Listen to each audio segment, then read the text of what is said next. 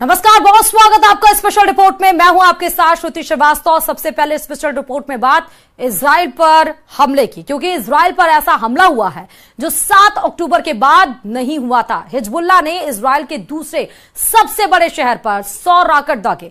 हैरत की बात तो यह है कि इसराइल का आयरन ड्रोन इन रॉकेट्स को रोकने में फेल साबित हुआ और फिर ज़मीन पर जो तबाही मची, उसे देखकर नतन्याहू भी हैरान रह गए। देखिए रिपोर्ट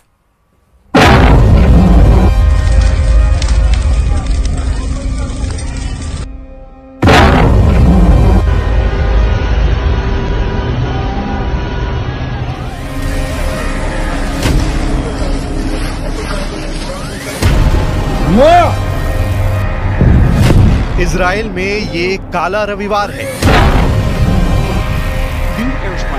7 अक्टूबर 2023 के बाद इसराइल पर सबसे बड़ा हमला हुआ है।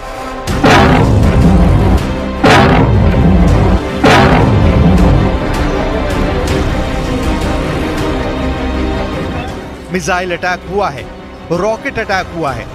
ऐसे वीडियो इसराइल में वायरल हो रहे हैं, जिन पर हिजबुल्ला की छाप लगी हुई है। एक साथ इतने हमलों को देखकर नेतन्याहू और उनके वॉर कैबिनेट में खलबली मच गई है। क्योंकि हिजबुल्ला ने इसराइल के उस शहर पर हमला किया है, जो आबादी के लिहाज से तलवीव के बाद इसराइल का दूसरा सबसे बड़ा शहर है। यह है हाइफा। हाइफा यानी इसराइल की सबसे बड़ी बंदरगाह। हाइफा मतलब इसराइल का सबसे बड़ा औद्योगिक इलाका।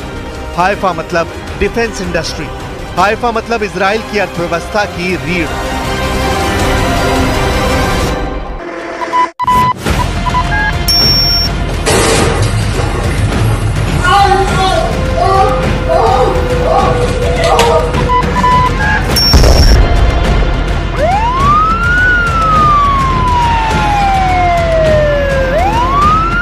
हाइफा पर हुआ हमला। हिजबुल्ला का पेजर बम वाले अटैक का बदला है। क्या हाइफा को हिलाकर इसराइल को हिजबुल्ला ने सबसे बड़ी वार्निंग दे दी है? हिजबुल्ला ने इसराइल के उस अड्डे को टारगेट बनाने का दावा किया है, जहाँ से फाइटर जेट उड़कर लेबनान पर बमबारी कर रहे हैं। हिजबुल्ला ने अपना बड़ा target Israel Ramat David airbase को बनाया है। ये एयरबेस हाइफा से करीब 20 किलोमीटर दक्षिण पूर्व में है। मैप पर देखिए, यहाँ पर हाइफा है और यहाँ पर है इसराइल का बहुत ही खास और सीक्रेट रमात एयरबेस। ये दोनों जगह लेबनान बॉर्डर से 70 से 80 किलोमीटर के दायरे में है। रमात एयरबेस पर इसराइल एयरफोर्स के एफ़ सिक्सटीन फाइटर जेट की तीन स्क्वाड्रन तैनात हैं, यानी 50 से ज़्यादा एफ़ सिक्सटीन इसी एयरबेस पर तैनात हैं। रमात एयरबेस पर इसराइल की दो ड्रोन स्क्वाड्रन भी हैं, जिनकी मदद से दक्षिणी लेबनान में बमबारी की जाती है। इस एयरबेस और आसपास के इलाके में हिजबुल्ला ने 100 से ज़्यादा रॉकेट दागे हैं। कुछ रॉकेट हाइफा में किरियात बाइलिक इलाके में भी गिरे। यहाँ पर लगी आग से आप अंदाज़ा लगाइए कि हिजबुल्ला की फायर पावर इसराइल के लिए कितनी हानिकारक है। हिजबुल्ला का दावा है कि उसने फादी वन और फादी टू रॉकेट से हमला किया है। यह ऐसा रॉकेट है जिसको पहली बार इस्तेमाल किया गया है। फादी वन 220 मिलीमीटर वाले कैलिबर का रॉकेट है और उसकी रेंज 80 किलोमीटर है, जबकि फादी टू 302 मिलीमीटर कैलिबर का रॉकेट है और इसकी रेंज 105 किलोमीटर बताई जा रही है।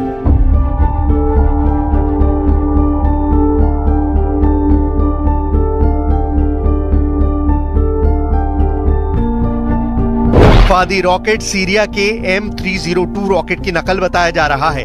लेकिन ये बात सच है कि हमास के 7 अक्टूबर वाले हमले के बाद से ये हिजबुल्ला का सबसे बड़ा हमला है। इस अटैक में इसराइल का कितना नुकसान हुआ है इस पर नेतन्याहू अभी खामोश हैं। लेकिन तस्वीरें बता रही हैं कि हिजबुल्ला का हमला कितना खतरनाक था। क्या हिजबुल्ला ने हाइफा पर हमला करके पेजर बम वाले अटैक का बदला ले लिया है? क्या हिजबुल्ला ने हाइफा को हिलाकर इसराइल को सबसे बड़ी वार्निंग दे दी है? इस वक्त इसराइल में जैसे धारा 144 लागू है। बाहर, यानी सड़क और बाज़ार में 10 लोगों के एक जगह इकट्ठे होने पर पाबंदी लगी है। जबकि घरों या किसी बिल्डिंग के अंदर 100 लोगों को एक जगह होने पर मना किया गया है। हिजबुल्ला के हमलों के बाद उत्तरी इसराइल में बहुत ज़्यादा खौफ है। गोलान की पहाड़ियों पर स्कूल बंद कर दिए गए हैं। गलीली, हाइफा और बेतशीन इलाकों में स्कूल बंद करने का ऑर्डर है।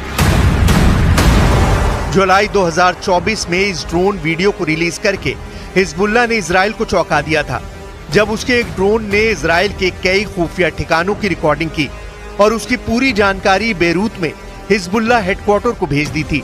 पूरे इसराइल में इस ड्रोन फुटेज ने कोहराम मचा दिया था। तब हिजबुल्ला ने दावा किया था कि इसराइल के इन चिंज इलाके और उसके बड़े ठिकानों की तफसील उसके पास पहुंच चुकी है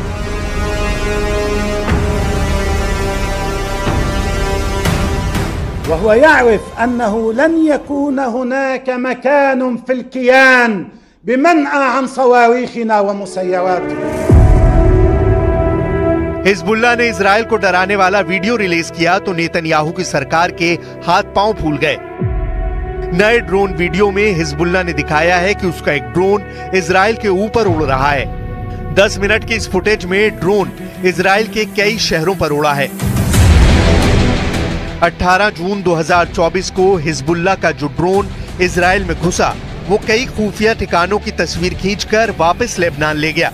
इसराइल उसका कुछ भी नहीं बिगाड़ पाया। ये ड्रोन उत्तरी इसराइल के किरियात शमोना, नहरिया सफद कारमील अपूला शहरों से लेकर इसराइल के हाइफा पोर्ट तक उड़ता हुआ दिखाया गया। अब इसी ड्रोन फुटेज का इस्तेमाल करके हिजबुल्ला ने इसराइल को काला रविवार वाला तोहफा दिया है। यह आग बता रही है कि हिजबुल्ला ने जो वार्निंग दी थी, वो वाकई बहुत खतरनाक थी।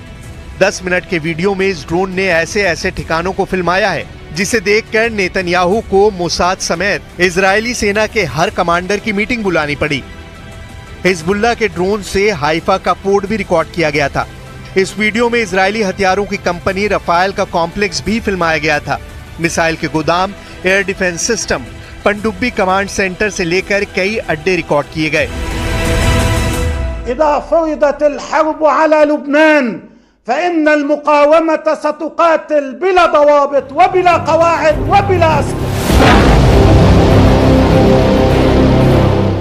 इस वक्त इसराइल लेबनान बॉर्डर के करीब कई इलाके खाली हो चुके हैं। लेबनान के बॉर्डर के आसपास 60 किलोमीटर के दायरे में तीस हज़ार की आबादी अपना घर छोड़कर जा चुकी है। लेकिन दहशत इसराइल में भी है। उसके किरियात शमोना जैसे शहर खाली पड़े हैं। एक लाख से ज़्यादा लोग दक्षिण इसराइल की तरफ़ कूच कर चुके हैं।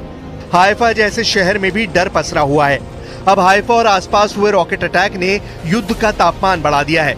इसराइल और हिजबुल्ला का घोषित युद्ध अब गजा पर बमबारी जैसा खतरनाक होता जा रहा है। बारहवें महीने में इसराइल पर रॉकेटबाजी और लेबनान पर बॉम्बिंग से हालात ऐसे हैं कि शायद कोई दिन गुजरता हो। दोनों में से एक पक्ष हमला नहीं करता है।